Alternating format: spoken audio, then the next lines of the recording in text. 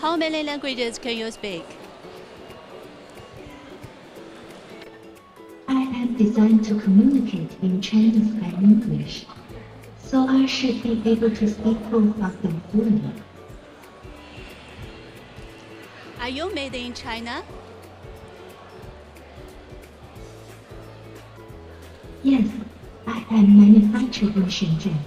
Uh, what are your hobbies?